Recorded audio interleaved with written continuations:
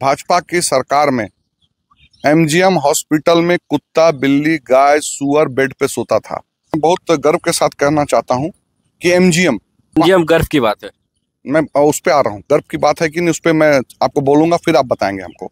बन्ना गुप्ता वो शख्स का नाम है जो छह महीना के अंदर इसको टीएमएच और मणिपाल से अच्छा हॉस्पिटल करके दे। पहले कुत्ते सोते थे लेकिन आज पेशेंट ज़मीन पे आज भी सो रहे हैं। बीजेपी अपनी नाकामी को छुपाने के लिए बांग्लादेशी बांग्लादेशी करते हैं। अगर बांग्लादेशी आ रहे हैं तो बीजेपी उसको बढ़ावा दे रहा है कोई दूसरा नहीं दे रहा है। जमशेदपुर में हायर क्वालिटी एजुकेशन के लिए कोई संस्था क्यों नहीं है? भूमि माफिया लोग इसको छेक रहे हैं। वैसे जमीनों को हम लोग सरकार से लेकर के उसमें इंस्टीट्यूट बनाएँगे। क्योंकि मैं ही एक ऐसा शख्स हूँ जिसको भाजपा के वोटर्स भी वोट देंगे। ये जो आप कह रहे हैं भाजपा वोटर्स को लुभाने के लिए कि मैं हिंदू हूँ और मंदिर मैंने बनाया है। नहीं नहीं नहीं जी आपने अब ऑफिशियली अनाउंस कर दिया है चुनाव के चुनाव लड़ने के लिए इच्छुक है। अगर मौका मिलता है तो आप चुनाव लड़ेंगे। हम्म। जनता के बीच किस मुद्दों को लेकर जाएँगे क्या मैनिफेस्टो होगा? लोगों के बीच की ताकि लोग आपको वोट करें। सबसे पहले शहर में नशा मुक्त शहर बनाएँगे प्रशासन से बात करके एनजीओ से बात करके नशा मुक्त जमशेदपुर बनाना मेरा पहला लक्ष्य है।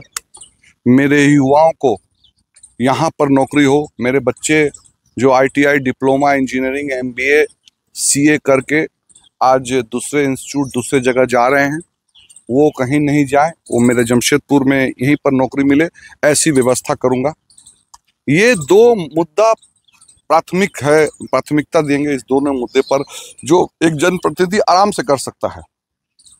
तो ये दो मुद्दा है मेरा। आपने कहा कि रोज़गार मुहैया कराएँगे जो यूथ पलायन कर रहे हैं उनको रोकेंगे और नशा मुक्त इस विधानसभा को आप बनाएँगे। जी।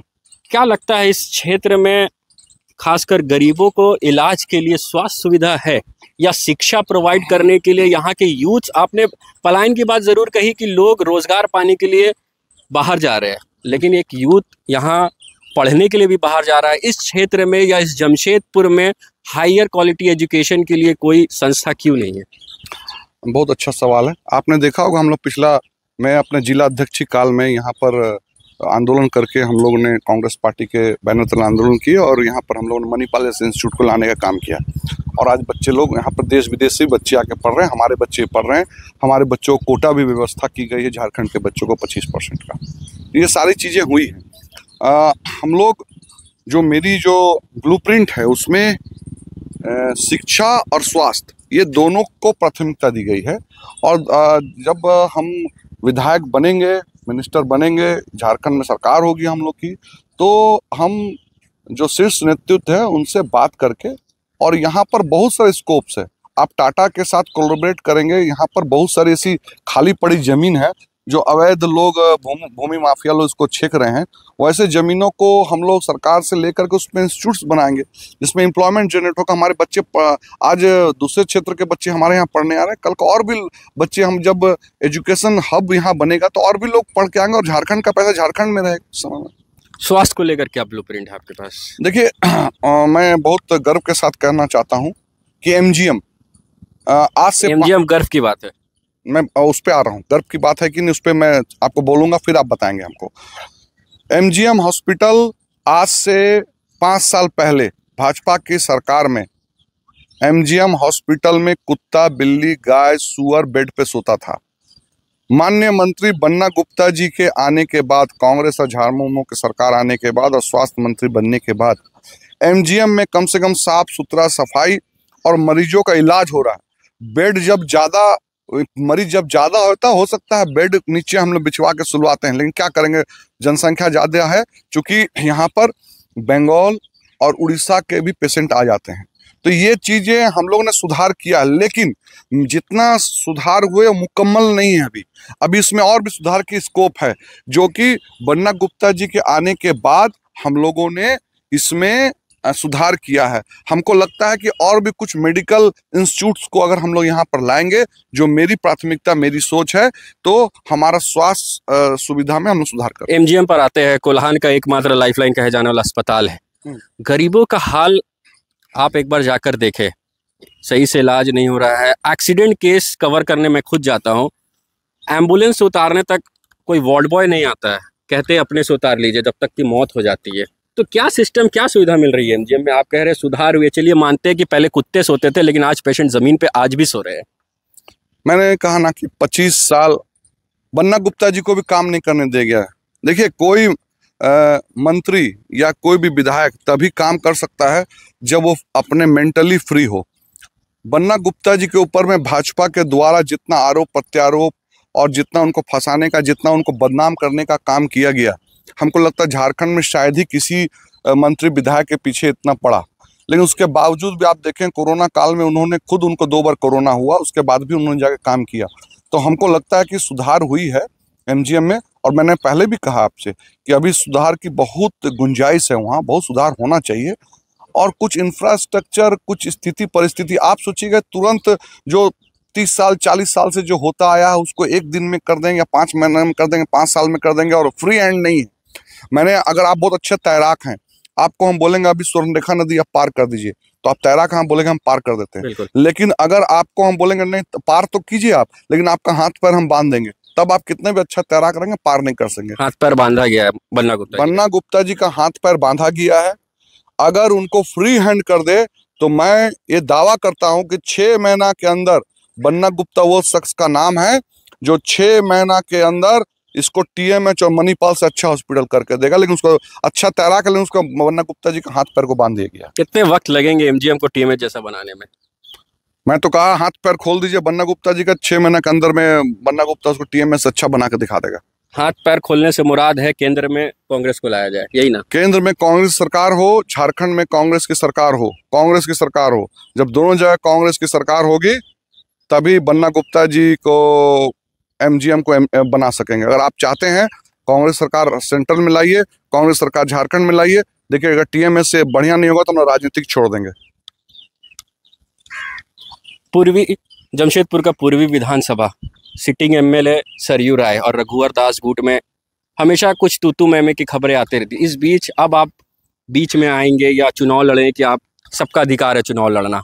आप एज अ कांग्रेस मैन आप चुनाव लड़ने के बाद उसको कैसे टैकल करेंगे? क्योंकि यहाँ दो गुटों की आ, आ, आपस में वाद विवाद देखा गया काफ़ी बार। समर्थक आपस में भिड़े ऐसी खबर भी सामने आई है। इसको कैसे टैकल करेंगे? इसमें कांग्रेसियों का कांग्रेसी कार्यकर्ता कैसे अपने आप को देखेंगे? इस क्षेत्र में खासकर क्योंकि ये हॉट सीट माना जाता है पूरे विधानसभा में। देखिए मैं ही एक ऐसा शख्स हूँ जिसको भाजपा के वोटर्स भी वोट देंगे और मैं ही जीतूँगा। इसलिए कि मैं यहाँ का भूमिपुत्र हूँ। और यहीं पर मेरी टिम्पलेट हॉस्पिटल मेरी पैदाइशी हुई है। चौवन वर्ष का उम्र है। दादाजी स्वतंत्रता सेनानी थे। स्वर्गीय पंडित सच्चिदानंद खां। हमारे पिताजी आजीवन कांग्रेसी रहे ट्रेड यूनिस्ट में रहे, कांग्रेस में रहे। स्वर्गीय श्री विश्वेश्वर खां जो टिम्पलेट यूनियन के मजदूर नेता थे, प्रख्यात मजदूर नेता थे, सब जानते हैं उनको। और मैं भी छात्र जीवन से ही एन का राजनीतिक यूथ कांग्रेस कांग्रेस इंटक किया। है मेरा बेटा भी दोनों बेटा भी कांग्रेसी है तो हम लोग खानदानी कांग्रेसी लोग हैं तो यहाँ के लोग हम लोग को जानते हैं कि पंडित विजय खान जो हैं वो वो, परिवार या उन लोग का सेवा क्या है दी यहाँ का इस इस इस विधानसभा के लोग जानते हैं सिर्फ़ इतना बता देंगे कि बीजेपी के जो आपने सवाल किया कि सरजू राय जी और रघुवर दास जी आप देखिए हम मैं हिंदू हूँ मेरे पिताजी देखिए बगल में बहुत बड़े मंदिर बनवाए। मैं आपको चल के दिखाऊँगा उसके मैं ये सबसे पुरानी मंदिर है सूर्य मंदिर तो दस साल पंद्रह साल हुआ बना हुआ। ये मंदिर बने सत्तर वर्ष अस्सी वर्ष हो गए मंदिर बने मेरे पिताजी के मतलब ये जो आप कह रहे हैं भाजपा वोटर्स को लुभाने के लिए कि मैं हिंदू हूँ और मंदिर मैंने बनाया नहीं नहीं नहीं ये लुभाने की बात नहीं है। क्योंकि ऐसा माना जाता है कि बहुसंख्यक समाज के लोग अब कांग्रेस को वोट नहीं करते हैं। ये गलत बात है। बहुसंख्यक समाज के लोग जो हैं, अगर कांग्रेस को वोट नहीं करते, कांग्रेस का आशीर्वाद नहीं देता, कांग्रेस का इतना अच्छा नहीं होता, ना देश में अच्छा परफॉर्मेंस है और झारखंड में अच्छा परफॉर्म अठारह सीट पर जीते हैं पहली बार झारखंड में भी। मैं उस पर आता हूँ इस विधानसभा पे। कि आप देखिए कि मंदिर को लेकर, मैं मंदिर का ज़िक्र क्यों कि हमारे पिताजी इस मंदिर को बनवाए, हम लोग चला रहे हैं, मंदिर को हम लोग सेवा कर रहे हैं साफ़ सुथरा कर रहे हैं, लेकिन हम लोग प्रचार प्रसार नहीं करते, इसका राजनीतिकरण नहीं करते। मेरे पिताजी सत्तर वर्ष पहले इस मंदिर को मेरे परिवार के लोगों ने बनाया पूरा सारे शहर के लोग, सारे बस्ती के लोग, सारे जगह के लोग आके पूजा करते हैं उसमें। कोई रोक ठोक किसी का नहीं, हर जाति का लोग उसमें जाके पूजा करता है, किसी को रोक ठोक नहीं है। लेकिन हम लोगों ने इसका राजनीतिकरण नहीं किया। आप देखिए वो मंदिर का राजनीतिकरण हुआ। हम उस मंदिर के बारे में क्या बोले? हम भाजपा के खिलाफ में क्या बोले? अगर सूर्य मंदिर को एग्ज़ाम्पल ले लीजिए और पिछले पाँच वर्षों का अखबार उठा लीजिए, सरजू राय जी ने उस मंदिर के, सरजू राय जी कट्टर, भाजपाई हैं, कट्टर आरएसएस के प्रोडक्ट हैं और रघुवर दास जी भी कट्टर आरएसएस के हैं। दोनों के समर्थकों का ब्लू प्रिंट निकाल लीजिए पाँच पिछला पाँच वर्षों का। उनका अखबार कटिंग निकाल लीजिए। मंदिर के बारे में कि उसमें क्या काम होता और क्या नहीं होता है। आस्था के नाम पर किस तरह हिंदू धर्म को बदनाम किया गया उस मंदिर को लेकर के। आप साक्षी का बजरंग बली मंदिर को लेकर के यही सरजू राय जी गुट और रघुवर दास जी गुट, दोनों भाजपा गुट है। किस तरह मंदिर का राजनीतिकरण करके किस तरह धर्म को बदनाम किया गया दूसरे धर्म के जो लोग कट्टरवादी हैं, वो तो खुश होते होंगे। मुस्लिम में, चाहे सिख में, चाहे क्रिश्चियन में 99 परसेंट लोग बहुत अच्छे होते हैं, हिंदू में भी 99 परसेंट लेकिन एक परसेंट लोग कट्टरपंथी होते हैं। तो वो ऐसे कट्टरपंथी को तो मज़ा आता होगा ना कि देखो बेटा, हिंदू का नाम से यहाँ क्या बोले, क्या करे। जिस तरीका से लोग गलत काम किए हैं इस मंदिर में, और हम लोग नहीं बोल रहे। ये बीजेपी के लोग एक दूसरे को बोल रहे कोई कांग्रेसी नहीं बोलने किया उसमें। आप देखिए तो ये जो आपने कहा कैसे कोलबरेट कीजिएगा तो हमको लगता है कि अगर हमको आप टिकट दे दीजिए कांग्रेस पार्टी टिकट देगी तो सारे लोग हमको वोट इसलिए करेंगे और हम भारी बहुमत से जीतेंगे। क्योंकि मेरे पिताजी के द्वारा, मेरे द्वारा हमने इस शहर में कितने आंदोलन, मजदूरों का आंदोलन किया है। हज़ारों मजदूरों को एम्प्लॉयमेंट दिए मेरे पिताजी ने भी हज़ारों सैकड़ों लोगों को एम्प्लॉयमेंट दिए थे। हम लोगों ने कई बस्तियों का सेवा किया है। तो सारे चीज़ लब, हमको आप टिकट देंगे, कांग्रेस पार्टी और चुनाव लड़ाएगी तो लोग सब कुछ भूल करके हम लोग को वोट करेंगे। आपने कहा कि मजदूरों के लिए आंदोलन किया है। देश की बदलती राजनीति का एक कड़वा सच ये भी है कि आज के दौर में नेता वोट के नाम पे काम के सॉरी नेता काम के नाम पे वोट नहीं मांग रहे और जनता काम के नाम पर वोट दे भी नहीं रही है। जाति की राजनीति की जा रही है धर्म की राजनीति की जा रही है। इसको आप कैसे टैकल करेंगे? क्योंकि एक बड़ा मुद्दा है क्योंकि जो बदलती राजनीति का सिनेरियो है धर्म के नाम पर वोट मांगे जाते हैं राज जाति के नाम पे मांगे जाते हैं। इस पर विजय खान जी क्या करेंगे? देखिए एक एक, एक सर्फ का डिटर्जेंट एक ठो कुछ ऐड आता था। पहले इस्तेमाल पहले इस्तेमाल करो फिर विश्वास करो। तो पूर्वी की जनता ने मुझे इस्तेमाल कर चुके हैं। पूर्वी की जनता हमको इस्तेमाल कर चुकी है। हमने टाटा मोटर्स का आंदोलन हो, वहाँ पर आज भी जाकर देख लीजिए। दो सौ पैंसठ वर्कर मेरे आंदोलन का नतीजा है कि वो लोग नौकरी कर रहे हैं। टाटा ब्लू स्कोप में छः से सात सौ वर्कर जाके देखिए, मेरे आंदोलन का नतीजा नौकरी कर रहे हैं। न्यूवोको सीमेंट प्लांट में 2000 में आंदोलन हुआ था, वहाँ पर 8 से 900 एम्प्लॉयमेंट हुआ है, मेरे द्वारा किया गया है, आंदोलन से जीत हुए। हम लोगों ने आंदोलन को बेचा नहीं है। और ये आप लोग सर्वे करवा लीजिए, ठीक है? बहुत सारे लोग कॉन्ट्रेक्चुअल वर्कर्स में हुए, बहुत पार्लियामेंट भी हुए हैं और बहुत अच्छे अच्छे जगह में गए हैं। तो ये दो तीन तो उदाहरण में टिमकेन का आंदोलन हुआ, हम लोग गेट तोड़ के अंदर घुस गया था। तो आंदोलन तो हम लोग को यहाँ की जनता इस्तेमाल कर चुकी है इस्तेमाल करो विश्वास करो। हम इस्तेमाल हो गए हैं। जनता देख ली कि आदमी, आज तक हम इलेक्ट्रल पॉलिटिक्स के लिए अगुआ नहीं हुए थे। इस बार जब आगे बढ़े इलेक्ट्रल पॉलिटिक्स के, हमने पहला बार घोषणा किया कि मैं चुनाव लड़ूँगा। तो मुझे अपार अपार मने अपार। मैं जिस दिन पदयात्रा करूँगा अगर पाँच हज़ार कार्यकर्ता और जनता मेरे साथ नहीं चलेगी तो जो बोलेगा? पाँच हज़ार चलेगी कम से कम। तो मेरा कहने का ये है कि अ, हम लोग इस्तेमाल हम लोग धर्म को नाम पर नहीं लाएँगे।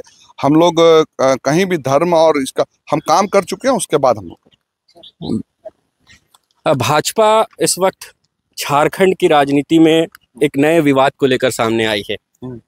संथाल परगना का मुद्दा उठा है। अमित शाह जी अमित शाह जी रांची आए थे। हम्म।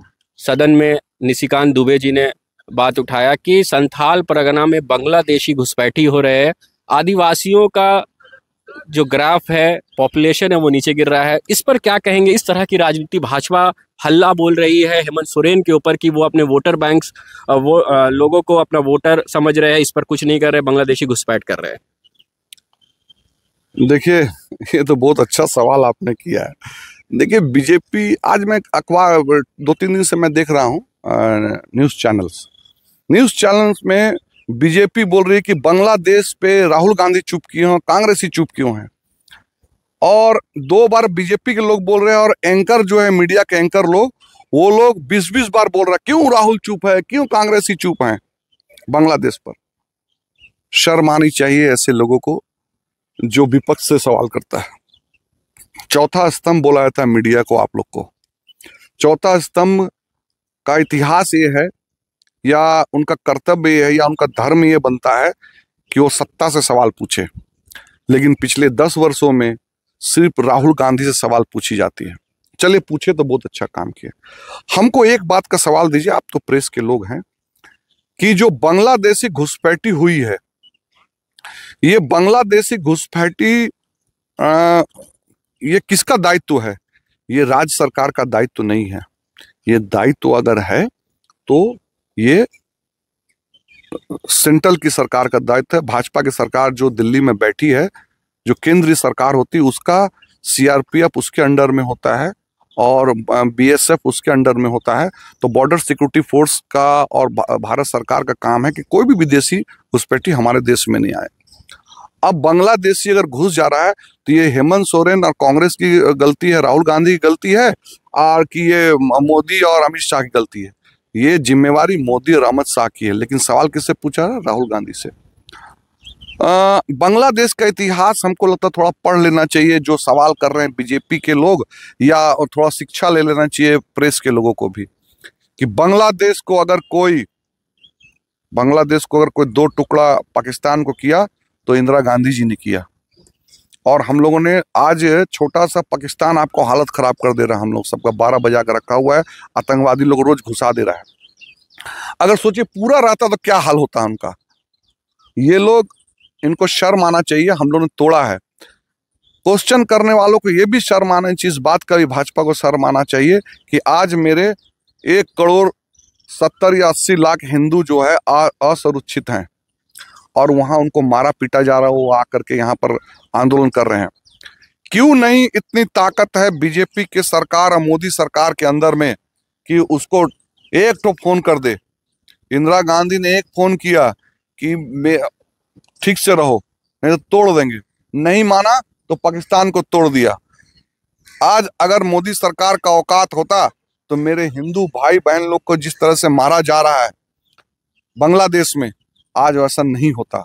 आज बीजेपी की सरकार कमज़ोर है, बीजेपी की सरकार अपंग है, बीजेपी की सरकार, मोदी की सरकार, मैंने सबसे अभी तक का सबसे खत्म सरकार है, जिसने मेरे हिंदू भाई बहनों को बंगा, बांग्लादेश में सुरक्षित नहीं रखा और सैकड़ों हमारे जो हिंदू भाई बहन मारा गए और यहाँ सिर्फ़ हिंदू हिंदू करके हिंदू की बात करते क्यों नहीं सुरक्षित रख पाया अपने हिंदू भाई को? और जब बांग्लादेश को पिछला दस पंद्रह वर्षों से बांग्लादेश को हम लोग प्रोटेक्ट किए थे, ये अगर 24 घंटे के अंदर में वो सरकार गिरी है शेख हसीना की तो इसकी जिम्मेवारी मोदी सरकार की है। मोदी सरकार को जिम्मेवारी लेना चाहिए था। मोदी सरकार को इस बात का खौफ होना मोदी सरकार को इस बात की जिम्मेवारी लेनी चाहिए थी कि आ, हमारे प्रोटेक्शन में अगर बांग्लादेश शेख हसीना है तो हम उसको नहीं गिरने दे। चाइना और पाकिस्तान तो चाह ही रहा था सरकार गिरे। तो ये अगर फेलोरिटी है तो शेख हसीना की नहीं है ये मोदी साहब की फेलोरिटी है। आज अरबों रुपया का हमारा वहाँ व्यापार वहाँ जुड़ा हुआ है और वो पूरा खराब होने जा रहा है। चलिए आप मेरी बात को दूसरी तरफ़ ले जा रहे हैं। सवाल ये है कि झारखंड के संथाल परगना में बांग्लादेशी घुसपैठी हो रहे हैं इस ये मुद्दा उठा रहा है भाजपा। एकदम हो रहा है। घुसपैठी हो रही है। हाँ घुसपैठी हो रहा है ये जेएमएम और कांग्रेस को वोट कर रही है। नहीं यही तो सोचने की बात है। वो वोटर कैसे बन रहा है? चुनाव आयोग किसके अंदर में है? ये तो उनका प्रोपोगंडा है कि हिंदू वोट हमारे तरफ़ आ जाए। कहीं घुसपैठी हो रहा लेकिन घुसपैठी की जिम्मेवारी किसको है? ये विश्व शर्मा, असम के जो मुख्यमंत्री है, ये बोल रहे हैं कि 40 परसेंट असम में हो गया। तो भैया, कितना साल से तुम वहाँ मुख्यमंत्री यहाँ पर आके तुम रोज अपना कहानी विधवा विलाप कर रहे हो। वहाँ पर तुम क्यों नहीं असम में रोक रोक के रखे हो? क्यों नहीं रोक पाए? असम में रोक नहीं पाया, झारखंड में आके हल्ला कर रहा है। तो मेरा कहना है, अगर बांग्लादेशी घुसपैठी घुस रहा है तो ये जिम्मेवारी भाजपा की भाजपा लोग को घुसवा करके और इस तरीका का प्रोपोगंडा करता है कि जो बहुसंख्यक वोट है, वो कांग्रेस को नहीं मिले। आज कहीं ना कहीं मुस्लिम और आदिवासी का पार्टी है, कांग्रेस पार्टी, ये हल्ला झूठा फैलाने में कहीं ना कहीं कुछ राज्यों में ये सफल हो गई है। अपना हिंदू वोट को ठीक रखने के लिए बीजेपी ने ये प्रोपोगंडा बना फैलाया है। कि ये मुस्लिम और आदिवासियों की पार्टी है कांग्रेस। लेकिन कांग्रेस पैन इंडिया पार्टी, पूरा राज्य का, जैसे मैंने कहा आपसे, हम लोग सभी राज्यों का हित को देखते हैं, हम लोग देश का हित को देखते हैं। हम लोग किसी एक राज्य का हाँ देश का हित देखते देखते हम झारखंड का हित देखेंगे, हम आदिवासियों का हित देखेंगे, हम मुसलमानों का हित देखेंगे, ये मेरा अधिकार है। लेकिन ये बीजेपी बांग्लादेश बांग्लादेश कर रही है, लेकिन बांग्लादेशी को रोकेगा कौन? राहुल गांधी रोकेंगे बीएसएफ और सीआरपीएफ और सरकार किसके हाथ में है? सरकार ये सारा चीज़ तो उनके हाथ में है तो बीएसएफ को रोकना उनका आदेश देना उनको फ्री हैंड करना किसका जिम्मेवारी है? बीजेपी की सरकार बीजेपी अपनी नाकामी को छुपाने के लिए बांग्लादेशी बांग्लादेशी करते हैं अगर बांग्लादेशी आ रहे हैं तो बीजेपी उसको बढ़ावा दे रहा है कोई दूसरा नहीं दे रहा है। चलिए इंटरव्यू काफ़ी लंबा होते जा रहा है एक आखिर में एक सवाल चुनाव लड़ने का ऐलान कर दिया है आपने। हम्म। अगर कांग्रेस पार्टी आपको सीट नहीं देती है क्योंकि खबरों के अनुसार प्रबल दावेदार कांग्रेस से अजय कुमार माने जा रहे हैं। अगर कांग्रेस आपको सीट नहीं देती तो आपका क्या स्टैंड होगा? देखिए, कांग्रेस मुझे सीट नहीं देती है तो हमने 250 बूथ करीब करीब अभी बनाया है। अड़तीस साल से हम कांग्रेस का झंडा ढोते आए हैं, और अगर हाईकमांड हमको नहीं देगी तो हाईकमांड को हमको बताना चाहिए कि हमारे अंदर में क्या कमी है और क्यों नहीं टिकट देगी। अगर हम उनके जवाब से सेटिस्फाइड रहेंगे तो एक परिस्थिति बनेगी और अगर सेटिस्फाइड नहीं रहेंगे तो दूसरी परिस्थिति बनेगी। दूसरी परिस्थिति मतलब निर्दलीय आप चुनाव में जाएँगे। वो समय बताएगा लेकिन हम लोग कांग्रेसी हैं और कांग्रेसी होने के नाते हमारे खून में कांग्रेसी है।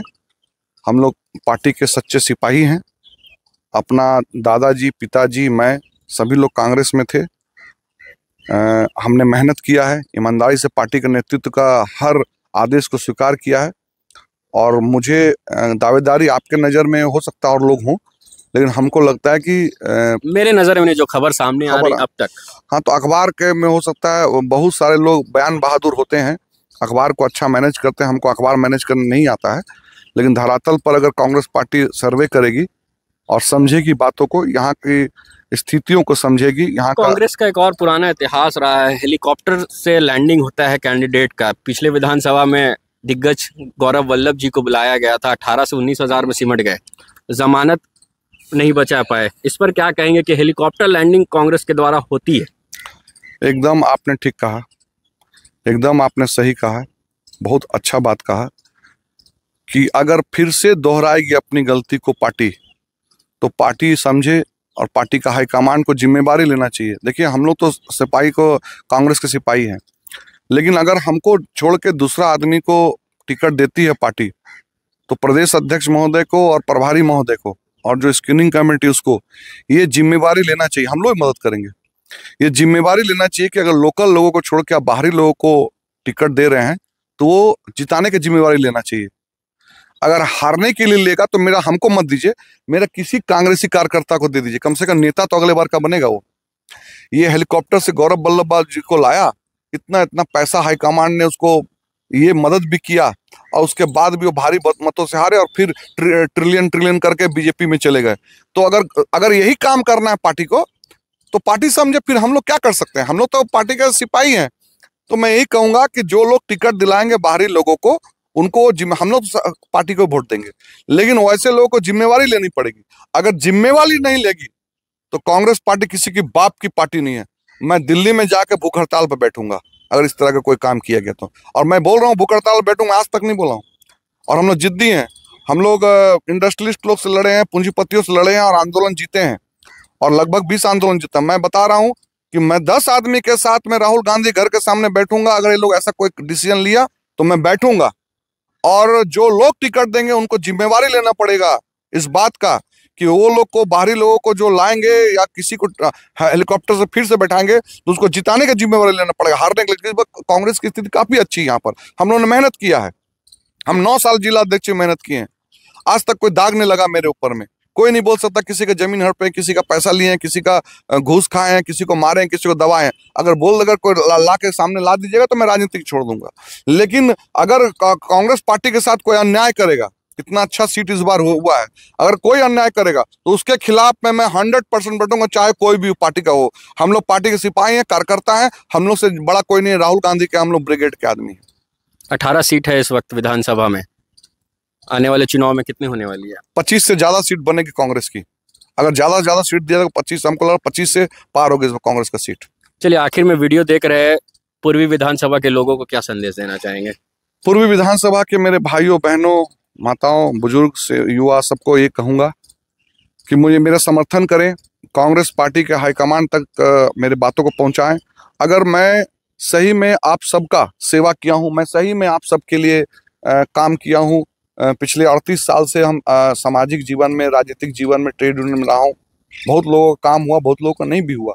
लेकिन ईमानदारी से किया, कोई दाग नहीं है। अगर आपको ऐसा लगता है कि आपका बेटा, आपका भाई विजय खान आपके लिए ये अच्छा उम्मीदवार है तो ज़रूर अपना फेसबुक, ट्विटर सबके माध्यम से पार्टी के हाईकमांड को बोलिए कि इस बार टिकट दीजिए और आप लोग लग जाइए। हर व्यक्ति, जैसे मैं हर मीटिंग में बैठा हूँ, मैं तेईस बैठक कर चुका हूँ अभी तक बूथ मैनेजमेंट का, तेईसों बैठक में ही कहा हूँ कि आप अपने आप को विजय खान समझिए? मैं आपसे निवेदन करता हूँ कि आप लोग अपना सोशल मीडिया के माध्यम से कांग्रेस पार्टी का हाईकमान तक मेरी आवाज़ को पहुंचाइए।